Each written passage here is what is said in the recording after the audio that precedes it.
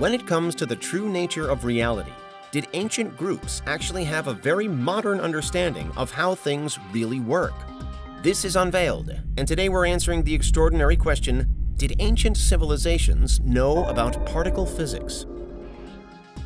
Do you need the big questions answered? Are you constantly curious? Then why not subscribe to Unveiled for more clips like this one and ring the bell for more thought provoking content?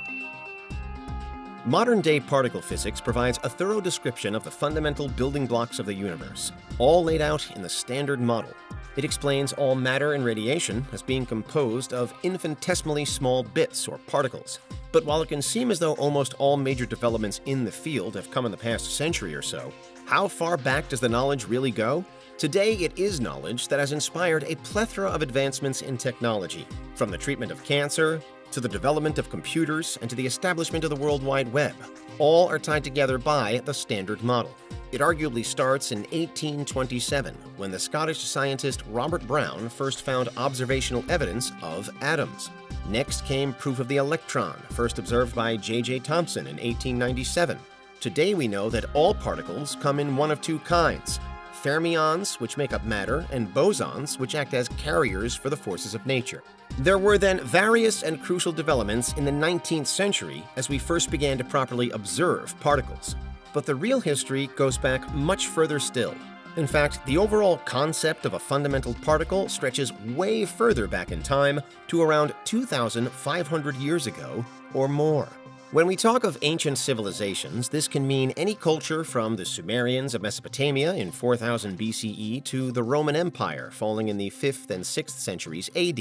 And these iconic vital groups did invariably have a strong grasp on basic science. Perhaps none more so, however, than the ancient Greeks. By the 3rd century BCE, the Greeks already possessed an impressive knowledge of astronomy. They knew the Earth was spherical and had managed to measure its circumference to a more than reasonable degree of accuracy. Aristarchus of Samos was the first to theorize a heliocentric solar system, and he managed to approximate the distance of the Sun and Moon from the Earth as well. Remarkably, he did this by simply measuring the size of the Earth's shadow on the Moon during a solar eclipse. The Greeks also had basic chemistry, Numerous early philosophers, before even the later time of Socrates, mused that the universe must be made up of basic elements. Specifically, it was a figure known as Empedocles who proposed the four popular classical elements water, earth, air, and fire. Back then, this was essentially a way to characterize materials based on their physical properties. What we now know more broadly as liquids were made up of water, solids from earth, gases from air, and finally, the fire today doubles up as plasma. The Greeks then believed that these basic elements could be combined to make compounds, and that everything on Earth was made up of a combination of these elements and compounds. Alongside this, they realized even then that it was possible to transition between elements. Clearly, it isn't a stretch to say that these ideas virtually are basic chemistry to modern minds that philosophers such as Empedocles came up with principles that are still fundamental to science. We also know that the Greeks were adept mathematicians. Pythagoras created the first ever school of mathematics in the 6th century BCE, and of course, his theorem describing the geometry of a triangle is still used more than 2,500 years later. Another product of Greek math was the book The Elements, published by Euclid, who's frequently hailed as the father of geometry. Euclid's work provided a thorough description of geometry and managed the impressive feat of never really being surpassed until the 19th century. The roots of mathematics can be traced even further back, though, to ancient Egypt and Babylonia. Unfortunately, there's a lack of sources remaining to show exactly what the Egyptians did, but there do still exist approximately 400 clay tablets from Babylonia which reveal that they well understood fractions, algebra, and geometry. To some degree, what we now know as particle physics is an amalgamation of chemistry, math, geometry, etc., and all born out of the distant past. Easily the closest specific model to current thinking, though, was atomism. Put forward by Greece's Leucippus, it was a theory which stated that the universe is composed of fundamental, invisible components named atoms. It was then later that Leucippus's disciple, Democritus, formalized the theory further, stating that there was infinitely many atoms with infinitely many variations. This ranks as one of the earliest attempts to show that reality is made up of more than what we see at the macro level. Instead, the atomists, as they were called, hypothesized the larger world of nature to consist entirely of two base components atoms and the void. They believed that various different arrangements or clusters of atoms were what created all substances in the real world. Cleverly, at its heart, it was a model built on intuition, too. The key early observation was that it isn't possible to divide a piece of matter infinitely.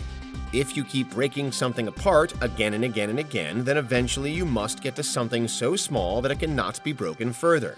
And while we now know that there are lower levels to split to, for the atomists, that unbreakable something was the atom. What's doubly interesting, however, is that atomism didn't only arise in Greece. Indian philosophers also honed their own game changing ideas that were arguably identical, at the same time or perhaps even before the Greeks did.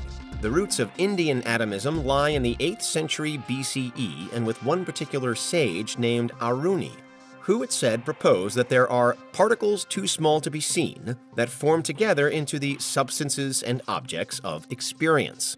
Not much later, an Indian natural philosopher formalized this idea. Historians estimate he lived in the 6th century BCE, and his name, Kanada, literally translates to atom eater. Kanada stated that the universe is made up of matter, which can be divided repeatedly until reaching a stage where no division is possible. This indivisible element he named Paramanu and is essentially an atom. Alongside this, he suggested that Paramanu, or atoms, had an inherent urge to combine with one another and that they should all be spherical. Kanada went on to form the first ever Indian school of natural philosophy, the Vaisheshika school, which later developed theories on the ways in which Paramanu combine into larger and more complicated objects. From the very beginning, though, the parallels between his ideas and modern particle physics are clear. It's perhaps pretty mind blowing that philosophers in two completely separate parts of the world thousands of years ago would independently conceive of essentially the same theory for atoms. It's then also pretty incredible that the observational evidence for both wouldn't come until centuries later with the great thinkers in Europe in the 1800s. All of that said, however, while atomism is a remarkable philosophy, it's not as though it's identical to today's principles, which have been greatly updated and improved. The major change we benefit from now is the presence of technology, which again has made it possible to observe what we could only previously theorize at. Alongside this, all fields of science achieved significant development in the centuries leading up to the Industrial Revolution, to the benefit of almost all disciplines. For example, ancient civilizations were never lucky enough to have theories like Newton's theory of gravity or his formalism of calculus guiding what they knew. The establishment of the periodic table also has its roots in the Industrial Revolution, which helped us to greatly understand the link between element properties and their atomic weight. The general scientific method, a repeating cycle of observation, hypothesis, experimentation, and verification, wasn't at all developed in ancient times either, since it was initially pioneered by one Ibn al-Haytham during the Islamic Golden Age in the 10th century AD. The background to science has changed beyond all recognition then, but perhaps that only highlights just how impressive those earliest minds were. Yes, our knowledge and grasp of particle physics has skyrocketed in recent decades and is now far beyond the wildest dreams of any ancient philosopher. But those civilizations of the past were never living in the dark. It was they that provided the foundations at a time thousands of years before their ideas could be rigorously tested. If the genius philosophers of old could see us now, would they feel pride, or satisfaction at least, that what they felt to be true is now known to be fact? Because that's how ancient civilizations did know about particle physics. What do you think? Is there anything we missed? Let us know in the comments. Check out these other clips from Unveiled, and make sure you subscribe and ring the bell for our latest content.